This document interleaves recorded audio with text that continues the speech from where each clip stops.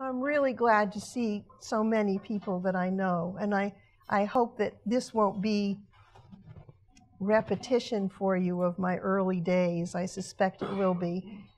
When I was looking through all the material that we could have done and talking to Sven about what we could read, I decided that the most efficient thing to do in 35 minutes would be just to go back to the beginning and just to, to concentrate on one of the books that Stephen Gould and I, I had the privilege of, of working on with Stephen Gould. And it will be the first one, which is Illuminations, a bestiary. Because that is, that is ABC, and I think somehow beginning there. I have to say that I'm supposed to be the artist here. And I know that as an artist, what happens is that I pick up a book and I start to read it, and I think I'm going to read this whole book about the Burgess Shale, or I'm going to read, I'm going to read, uh, you know, the I, I can read Stephen Jay Gould's work because he makes you think that you really have understood it. There's something about the way he writes that keeps you going. At least it did for me. And I read his books for quite a while before I ever met him. But what I was really going to say is where a scholar, I believe, starts with the text and then eventually comes to the images, I, I go the other way. I start with something I see, and then eventually I want to read about it, and then I want to know more and more. So, but I don't get into scholarly work until I've actually been looking at something for a long time. And I have scholar friends who are just the opposite. You know, they'll read many books and then wonder what something looks like. And, and I, I just think it's, it's curious. But I don't retain what I've read because what happens is I'll read a paragraph and it will give me an idea. And then I'll go off for six months. And I have, I have a book. Well, you know, I think I could talk too much, and we really have to cover a lot of ground. So I'm going to start. I'm very grateful to Sven Birkerts for reading because that's the other thing. I don't know how anybody can show pictures and also read at the same time. Um, and thank you, Deborah, for inviting us. Okay. Now, does it, the lights get any lower, or do we just boy.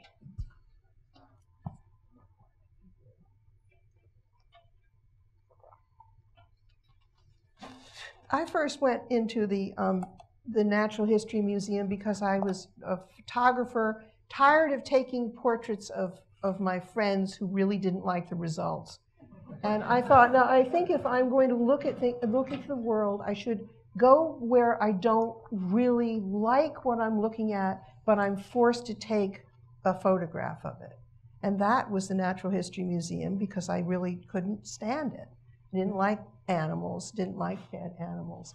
And one of the one of the early ones that I did were a series of of ape skins that I hung in the window in various ways. And then that that single image helped me in work from then on somehow think about the monkey, the museum, the whole, the whole sort of setup. And in the back room, you know, there's just sort of amazing things. And this isn't, this is the head of an Irish deer, great Irish deer in Dublin, just in the cell, in the cellar. And dolphins hanging, just forever, perpetually swimming in midair in, in Leiden. And I did a series of, this is all before I, I started to really uh, to work with, with Stephen. I did a series of, of bats for a bat exhibition at the Museum of Comparative Zoology. And I, I photographed x-rays of bats and I combined them in various ways. And then I started taking color photographs and setting things up. And I, I chose to photograph a pangolin with a pine cone because I thought they had a certain affinity for each other. And I, I set them up and left the room. And at this point, no biologist really was happy to see me coming into the museum because I didn't know what I was doing. And, and they really didn't have the time for it. But I set it up and left the room, came back, and, and Oh, uh, or, and one of them said, well, why, what are you doing? And I said, well, I just thought that the pangolin looked like a book. And then I left the room, came back, and they were having an argument about pan, whether or not a pangolin was more like a book or an artichoke. okay, illuminations. And Stephen saw the bat show, and we started talking, and we became friends. And, and we decided that we would do bestiary together. So this is also a bat, a cleared and stained bat.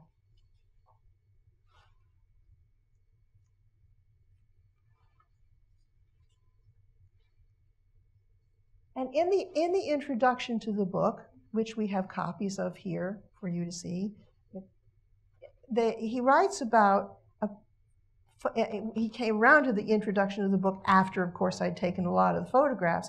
But, but he, we got together and he said, I think, you know, best bestiary would be nice, to do A to Z natural history specimens. But I had, uh, this, is a, this is a jaw through the branch of a tree that I had photographed in Copenhagen. And because it was right on the floor beside me, I turned it around and photographed the backside. And I showed him how the jaw had gotten through the branch. It would fall into the woods and it had grown, the, you know, a, a horse died. The branch grew around the horse branch. And um, he just thought that to, to be able to take something out of an engraving, because it came from an engraving, famous engraving of Ole Worm's natural history collection in Copenhagen. It's on the shelf, you can see it there. But to have something sort of fast forwarded from the past like that, and there it's way, way back. I don't know if this is focused or not, but it's way back on the, on the shelf, way back here. And to be standing in a room with this engraving and then also see it beside you was really quite startling. Now, we, we went uh, A to A to Z, but uh, he said we did this because, of course, I didn't know very much about natural history, but I was also taking the photograph, bringing him the photograph, and then he would do the text. So that he, I would take a photograph for various sympathetic reasons to the subject, and then he would find something to write about it. And now, this is, these are the ibis eggs in a rare, direct imposition upon modes and realities of preservation in museums, Rosamond has playfully drawn circles in the universal patina of all collections, dust. Thus, the banded contrast of nature and storage combines with the natural form of eggs to force these disappointed containers of future ibises into similarity with the beach rounded pebbles made of dark igneous rock intruded by bands of white quartz or calcite, and so often found on New England's beaches. Eggs achieve their streamlining by direct shaping in the oviduct, pebbles by the opposite route of erosive sculpturing from original roughness, but the common form does reflect a higher similarity of forces. Since dust pervades museums and seems both ineradicable and constant, Sleuths may use its thickness as a guide to the age and stratigraphy of collections. I once opened a drawer in an old part of our collections. The contents had been dumped and sheepishly piled back in disarray, but obviously very long ago, as the dust testified. I found a note also encrusted by the universal patina. It was dated 1861 and contained both an apology and exculpating explanation penned by a terrified student lest the intense and temperamental boss of the museum, Louis Agassiz himself, discover such a calamity without appropriate documentation. Agassiz obviously never opened the drawer. The student, Nathaniel Southgate Shaler, went on to become a famous scientist. The dust still rains and rains.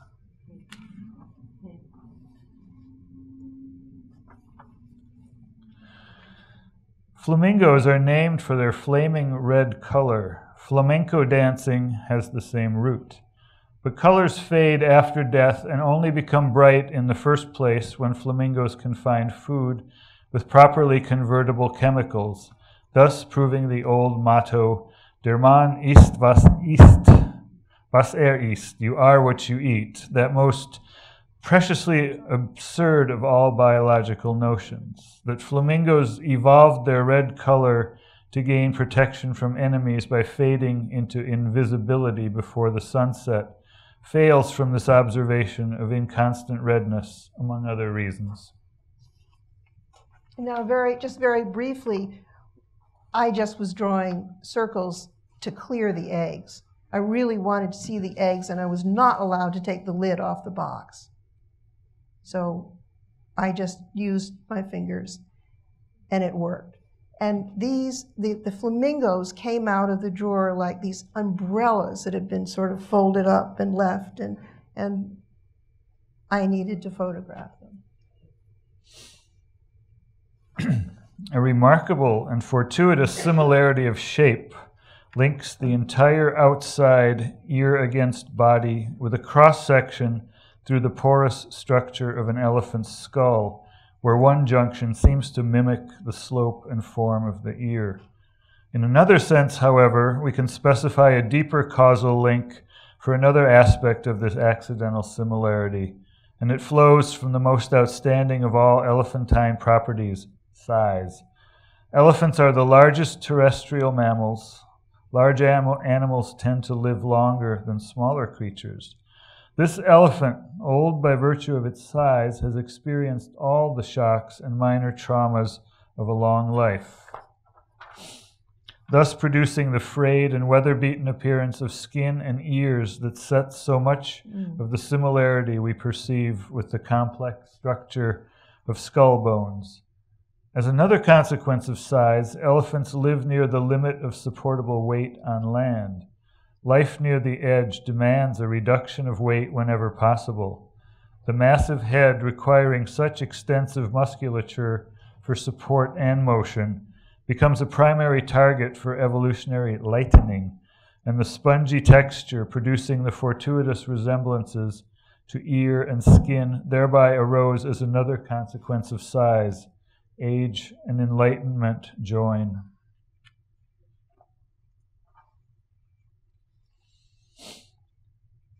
Crabs are a primary cultural symbol of disorder in the sinister sense.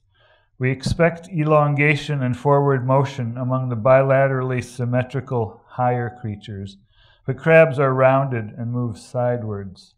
In Aesop's fable, a mother crab castigates her youngster for its ungraceful walk and receives an appropriate reprimand. How thou goest, I will go. Galen tells us that the claw like extensions of spreading cancers prompted his countrymen to appropriate the animal as a name for this disease of disordered growth, an association sufficiently unpleasant that many newspapers now bowdlerize their astrological charts and relabel the ancient constellation of the crab, Cancer, with the inappropriate moon children.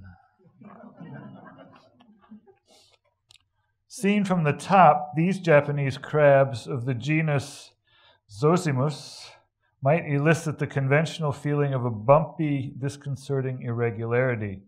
But crabs are crustaceans, members of the phylum Arthropoda, and the most ordered of complex animals in their construction as a sequence of repeated segments. Since 80% of animal species are arthropods, mostly insects, the basic design surely seems to work. Seen from the bottom, these same crabs shed their cultural liability, legs neatly ordered in pairs, culminating in frontal claws, the two rows separated by a posterior extension neatly tucked under. Stretch it out, and crabs proclaim their affinity with elongated relatives among lobsters and shrimp. Now, of course, what I was really loving were the were the shapes, the forms, the way the light hit them or didn't light hit them, the upside down, the backside. I mean, it's so much. It gave me so much pleasure to work with them for an hour, just a few crabs.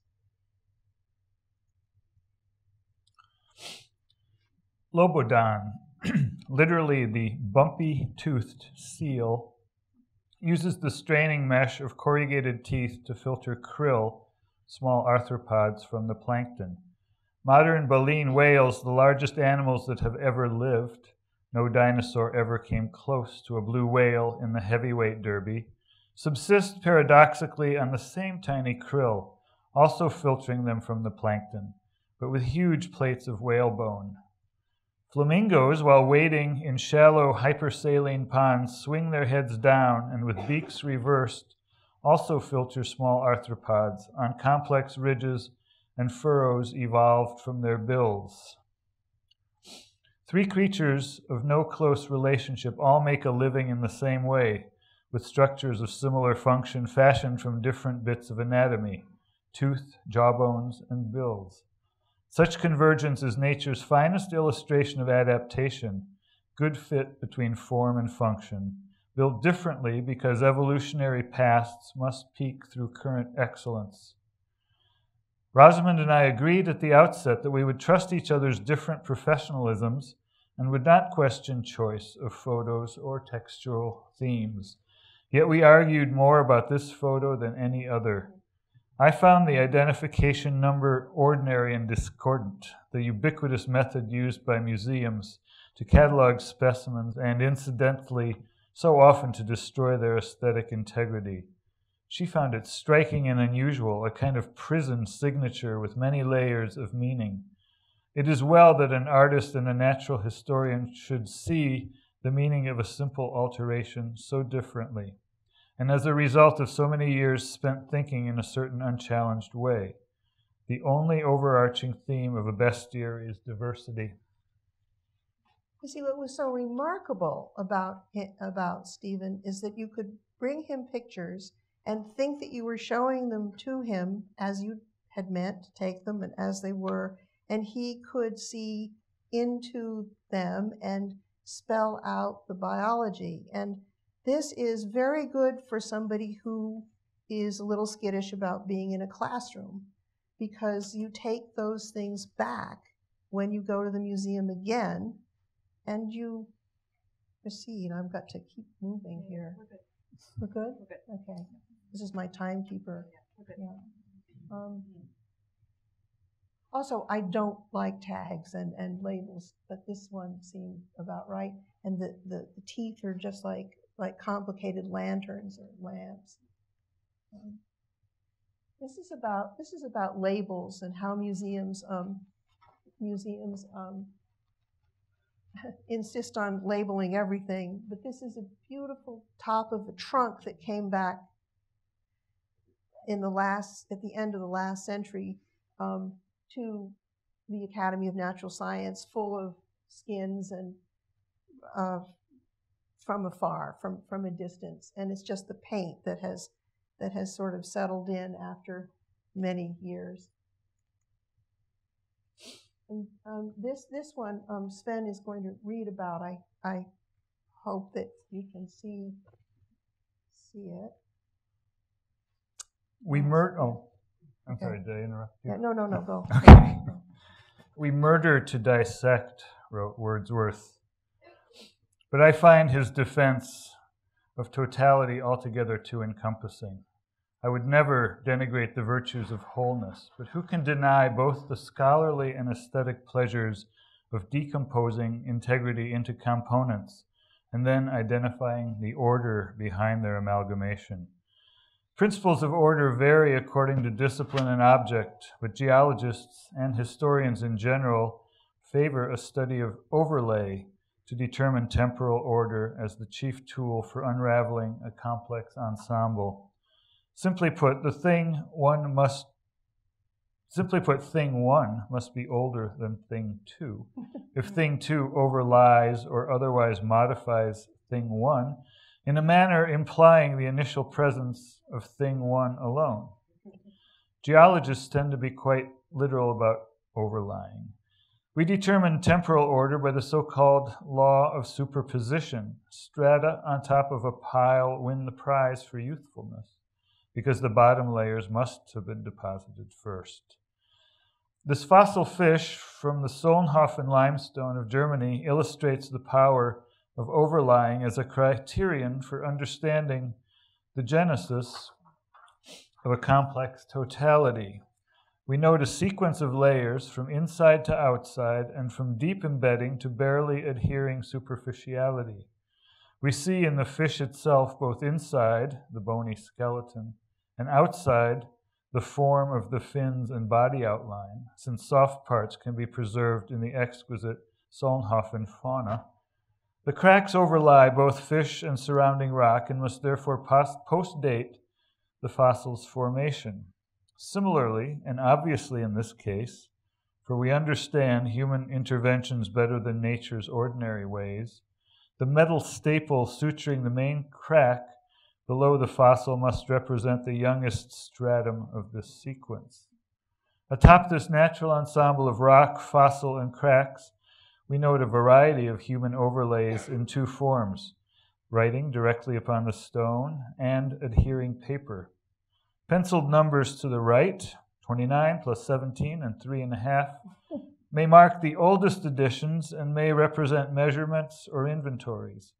The inked number is a Harvard Museum identification, MCZ for Museum of Contemporary Zoology, and here we note overlay within overlay, for the first number has been crossed out and replaced by a second, obviously later designation. Finally, consider the puzzling words gold and Öster seemingly printed on the rock. A resolution for this latest layer required some real detective work. In the museum's drawers in Solnhofen, Fossil Fishes, we found several thin 19th century printed lists from the Süddeutsches Korrespondenzbüro in München. These lists provide daily rates of exchange for European currency.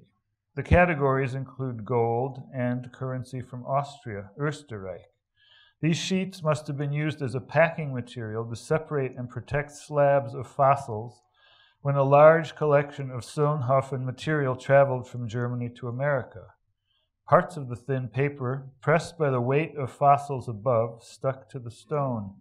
Fibers of the paper can be seen clearly under a microscope. Note also the large scrap of paper near the fossil's head.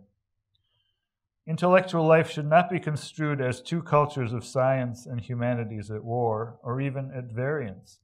Human culture arose from the material substrate of a complex brain, and science and art meld in continuity. The sequence of superposition on this rock, an unbroken transition from things of nature to things of art, flesh to rock to paper to ink, illustrates the embedding of mind in nature. How to ruin a perfectly beautiful fossil from the Solnhofen. and essay, right? by museum people. anyway, the, the next few are on labels and in museums and but well and this so this comes from Philadelphia and is an egg that was uh, found by Audubon in Florida and it's signed by him in pencil and it's a mess. I mean it's broken and the cotton is full of insects and the box is too small but it's an absolute treasure because he signed it in pencil. And I find that irrational. And here's another from Philadelphia, and it is, it is the skull of, uh, of a convict who was, who was also supposedly a cannibal, and he was in, imprisoned in New South Wales and then finally, finally executed. And his name is Pierce, and his skull belongs to a, uh, a famous collection in Philadelphia, Samuel Morton's collection of skulls of people from around the world. And one of those, um, er, those 19th century benighted uh, experiments where you put people's heads together and you try to figure out how they relate to each other and who's smarter than who and who's a criminal. Um, and then this, this is a curious object that was in the MCZ years ago, which is a way somebody was, was studying the scales of a fish. Rather than pressing the whole fish, taking the scales off one at a time pasting it on paper, and then making a notation about where from the fish it came from. And it makes a, a very curious kind of crackling document. And these are uh, from Teredo, they're shipworms. They bore into wood in such a way that a photographer is uh, very attracted to this because of the apparent concave, convex um, surface of it. And so when you when you, you pick out the piece of this tiny little wood, A couple came from the ends of pirate ships and so forth. They're very small, but when you put them in sunlight, the tunnels just go mad. I mean, they, this is the great thing about photography is turning something that is not even uh, three-dimensional into the appearance into the appearance of endless three-dimensionality. And then here's another one. This is one that has been reclassified. The previous one wasn't a label, actually. I guess it just that it went with the rest of rest of these. But this is a piece of this is a, a piece of a of a hardened remains of shipworms, the same that you saw in the previous um, section. It had been supposedly from taken from the London clay, and people thought for years that it came from London Bridge and was just sort of a, a hardened example of the wood from the old London Bridge.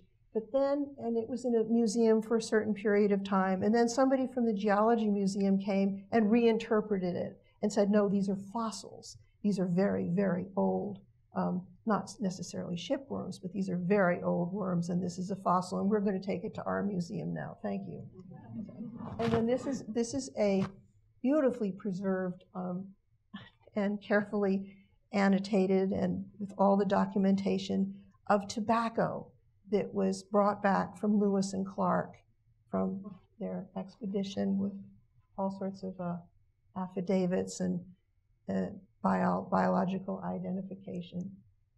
And then this is the um, a sign for a giraffe that was taken by Monsieur Vaux and Henry Gibson in Central Africa. And it's, it's always sort of, to me, it's always sort of ironic that it's the people who brought these things back that are usually given the best signs and the most sort of uh, uh, play. All right, now I, I often, as you saw from the shipworms, I look, and as in the words of Minor White, things for what else they are. Now, I never studied with Minor White, but I've always had that phrase, uh, you know, in my back pocket wherever I go. It's very useful. When you're looking at something and you see something else in it, just go for it. That's sort of my method. So this is a, a sleeping orangutan in a rock. A random rock and looking through through a turtle and seeing that he, he actually has a sort of a unexpected shell of a turtle against the sun.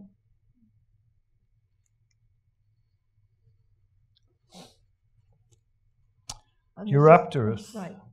Sorry. And now this is the Eurypterus. Eurypterus. Sorry. Yeah, sorry.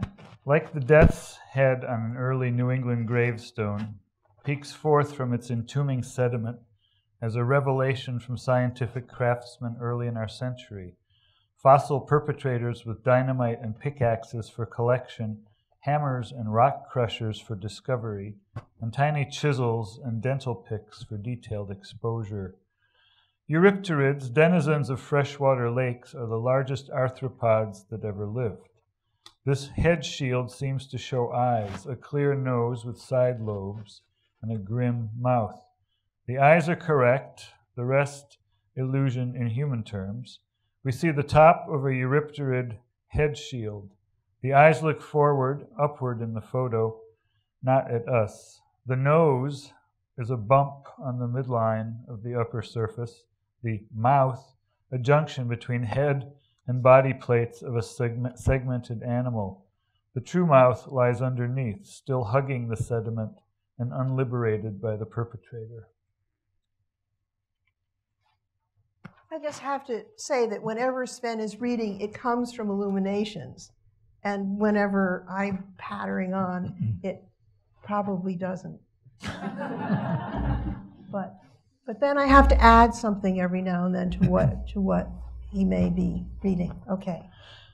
The so called eye spots on the backs and wings of many insects may serve several possible functions. In some species, they loom large, as if truly the eyes of a much bigger creature, and may thereby scare predators away. In others, they lie at an expendable periphery, attracting a predator's attention to wingtip and the air beyond, and not to the vulnerable body. In any case, the enormous variety of circles, bars, and splotches invites our own playful interpretation. whether the function, if any, for the insects that carry them. One naturalist found in moth and butterfly wings all the letters to reproduce a line of Roethke's poetry. Quote, all finite things reveal infinitude, mm-hmm. unquote. Here, arrayed like cartoon early worms poking their heads above the ground, we see dark spots at the wingtips of Samia moths facing each other in two rows.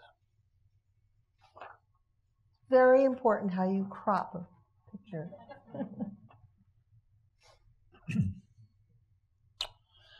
Gentile alouette is a lark, but alouatta, the South American howler monkey, scarcely merits the near homonymy. Numerical comparisons of Alouatta with other New World monkeys have identified this genus as a phyletic giant, an animal that has grown beyond the usual trajectory for its group, thereby accentuating features that are increasing but stop sooner in related species.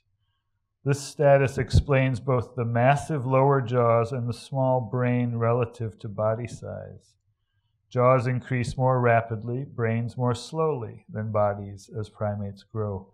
Alouatta has simply extended these common trends. This massive jaw also underlies the double take of this photograph. We seem to see a face looking at us, but it is only a pseudo Janus, for we are looking through the rear end of the skull the circle on top is the giveaway, for we do not witness a trepanation of the skull, but the foramen magnum, or great hole, that articulates skull with spinal column. The mouth and teeth are the animal's own, though we see them through the skull and in the distance. But the corners of its hat are the arches of its upper jaw, while the hunched shoulders are the massive lower jaw. No, I spent quite a while looking through the backs. You understand that, that, the, that the head is facing away from me, and I'm down low and looking up towards the sun. And I took a number of howler monkey jaws and did the same thing, and every one had a different personality when seen through the back.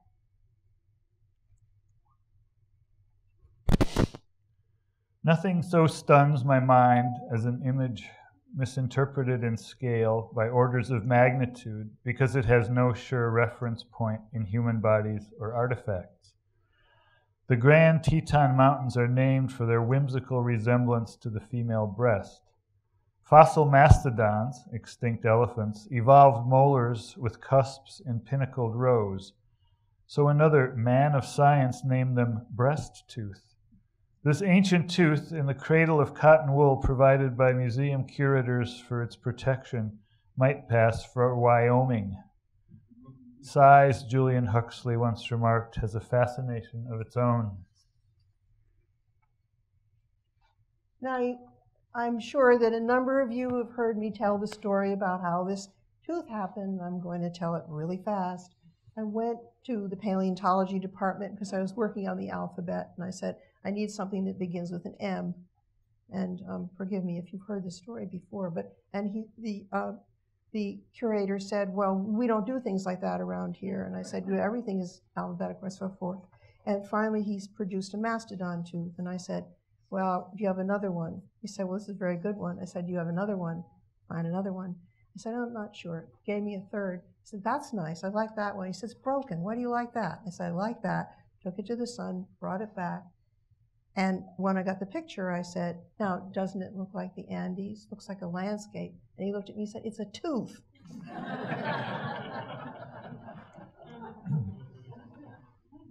Writing appears in everything. I mean, you know, there's sort of the, the you look through the turtle and you think you see some writing on the shell, and then you look at these contraband snake skins, um, enormous skins, and you see writing um, Ole Worm in Copenhagen was once sent a lobster from Norway because the person who sent it was certain that they saw ancient runes written all over it. Mm-hmm. But because Ole Worm was was uh, actually himself made himself an expert on early runes, he could tell them that no, it was really just the markings on the shell.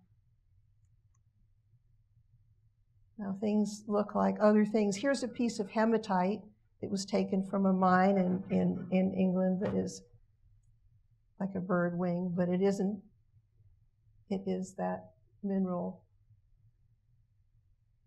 And then here's another one, another form of hematite, which comes out differently. And I think it has to do with whether or not it has to do with oxidation or the process in which these are formed, but it's the same mineral.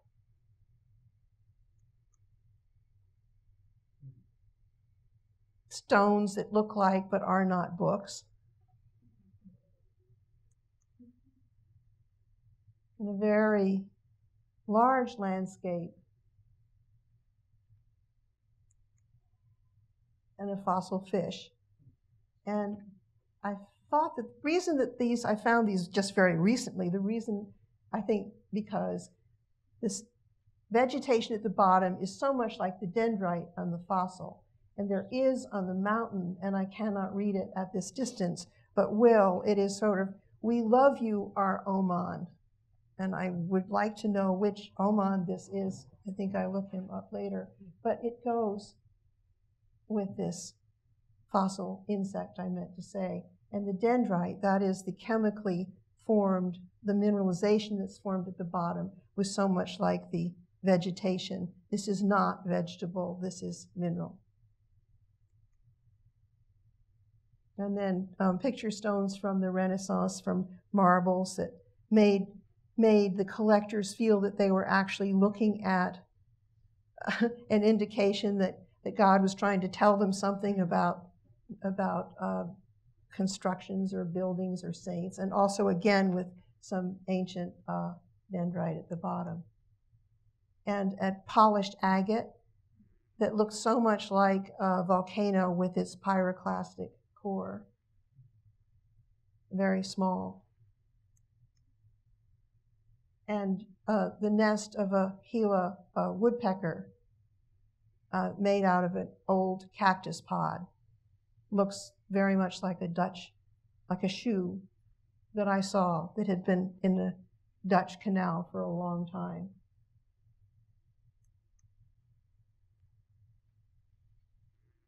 Now this is this is the third book that we did. Now I am going to characterize this a bit because the second book was, was Finders Keepers and it was eight collectors and the texts are enormous and the topics are you know Peter the, are, are really big, Agassiz, Peter the Great. I mean, they're just, you know, you'd be here all night, basically. But so I decided to just go to this.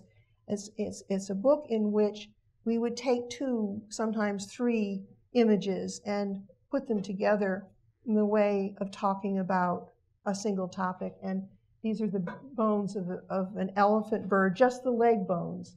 So it was an enormous extinct bird from Madagascar. And we paired this with a bird of paradise that, uh, and it was about legs. We paired it with a bird of paradise that, that basically was brought back from Europe without its legs. And so people who were collecting them in when it, during the 17th century, say, thought that the bird just lived on air, never touched the ground. And a collection of shell, two, two collections of shells. The first one from Aldrovandi, um, from Bologna, very, very neatly organized, just, just so, and compared, um, then, then Stephen compared these to the shells that were used on, the, on a piece of the Watts Tower in Los Angeles Simon Rodia. So it was sort of the, the, the business of somebody who was in a, you know, in a really uh, a, a privileged university, very sorry, privileged university, very scholarly, organizing things. And then the impulse to collect shells is universal. Uh, and, and heads, again, this is sort of like the, the cannibal skull. It is. It's, it's life casts of, of the faces of the natives of the island of Nias in order to show evolutionary diversity in a small population. This was done by an early um, anthropologists at the beginning of the 19th century. And it must have been very, very uncomfortable to sit with the plaster on the face with the straws up their nose. Everyone looks very cross. Very cross.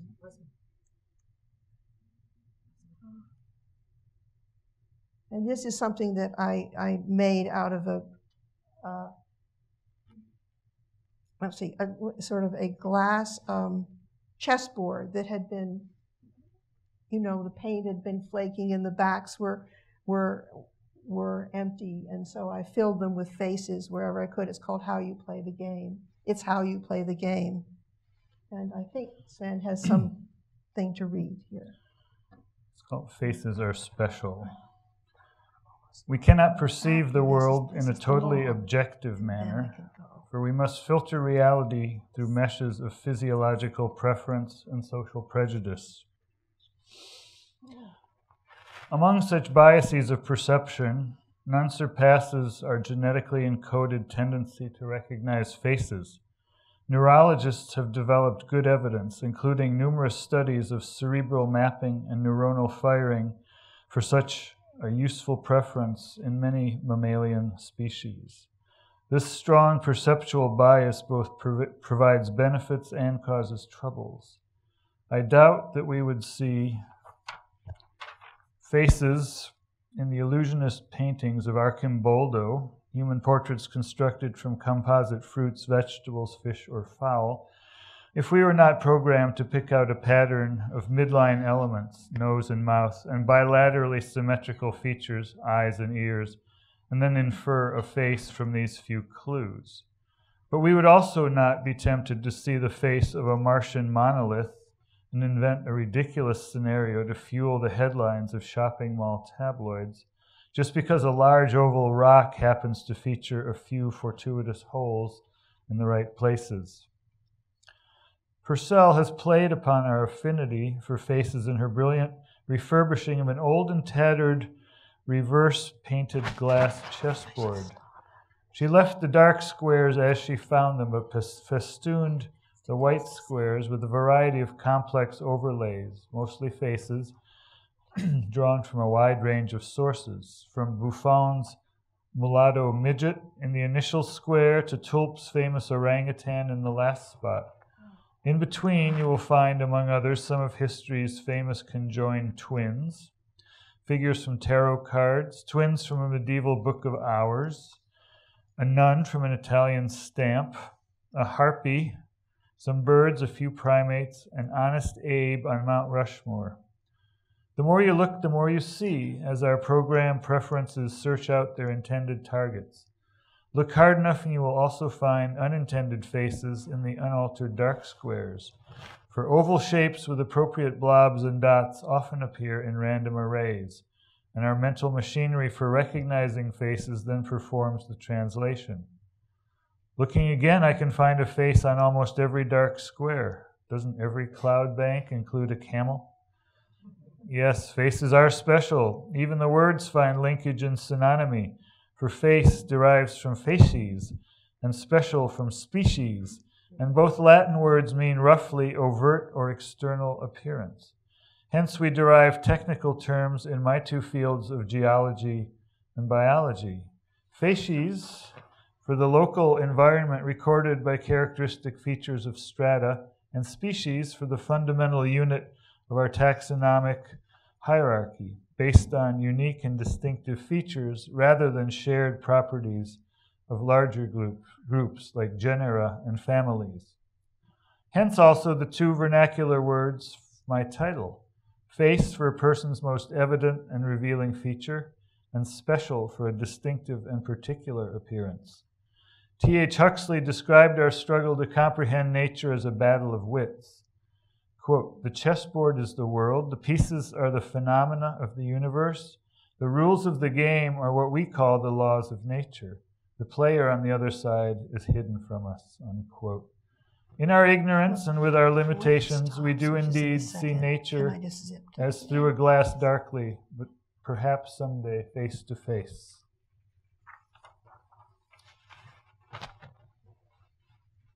I've got nothing to add. it was very descriptive. One, one day I went into the mammal department with this object and I said, Look, I think I've really found a fossil. I think I found something. And I had the pleasure of having three people bending over this object for a long time and saying, two fish, Devonian, maybe not, for a long time.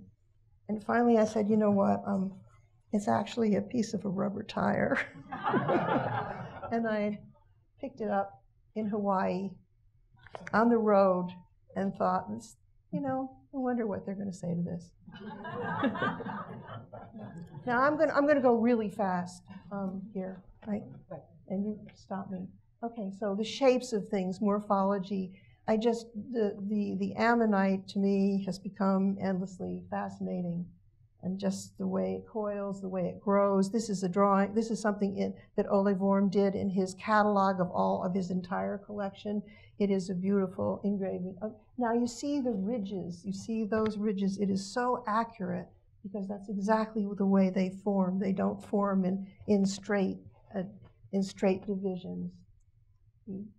They're compared so well with a with a contemporary picture of one.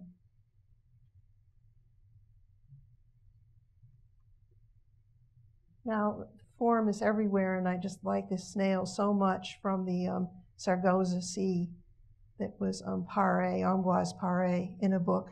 And, and the thing about these forms is they do get me back into books and back into looking at places in which they reoccur in the spiral staircase. Now, turns out that, um, oh, this is not the one. Okay, well, it turns out, and I'm going to go back just to the spiral staircase for a minute.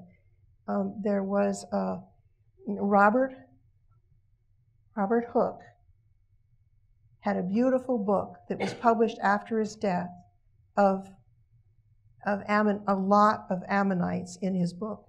He was also the man who helped build in the tower in London this a very incredible spiral staircase that was so much like the interior of an ammonite. Now, this is a pattern, weather pattern, old weather pattern, which looks like the same thing. I think I left out the uh, fossil book.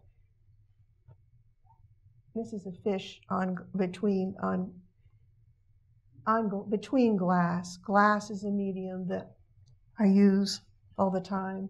Now, um, it, can I can I just keep going, Sven, or did sure. you, you have this? Is that long? This one long? no, not? it's not terribly long. Not terribly long. Maybe. Okay, so this is this is the this is one about um, you read you read the gannet. Gannets belong to the family Sulidae, a group of seabirds including the boobies and famed for a consequence of behavior that we regard as stupid. We make intuitive judgments about intelligence in animals, often most inappropriately by their degree of approximation to the two great differences that human heads have evolved a rounded and high vaulted cranium and a short face. With their long beaks and flattened crania, sulid skulls seem to deserve their name and reputation. This photo, however, appears to mock such a self congratulatory attitude. We see the ghostly double reflection of a gannet's skull on the glass surface of a bell jar placed above it. The curvature causes one reflection to assume those very features, short face and round cranium, that we deem a sign of intelligence. Is this a double inversion of the metaphor of Plato's cave? Is the real skull the shadow and that humanoid reflection the archetype? Or is the shadow only the reflection of our deepest cultural bias? Now, I'm, I'm, you encounter so much glass in museums, so many creatures under glass, and have to deal with them in various ways. And finally, I've just sort of gone for the glass and for what you get. And in this, you get most of the skyline from Philadelphia back. And I took these bottles a couple of years ago and decided that there were some possible reflections in them at the same time a friend had asked if I would like to do a book on Shakespeare, and I said no, I did not. And he said, Well, why don't you try? And I took these bottles and found that, in fact, if you look into them, you get all sorts of, of, uh, of things. And so this is the Cliffs of Dover from uh, King hmm. Lear. There's a cliff whose high and bending head looks fearfully in the confined deep. Bring me but to the very brim of it. Here is an art that nature makes.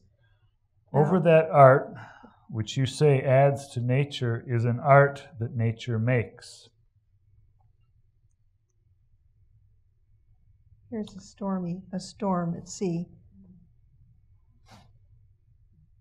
Is that the oak, the moon one? Yes. Yes, okay.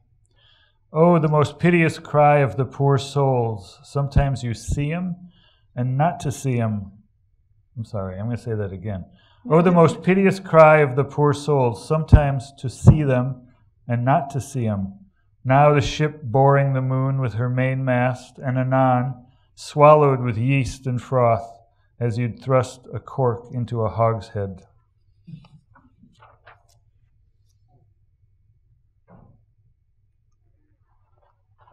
Bravo.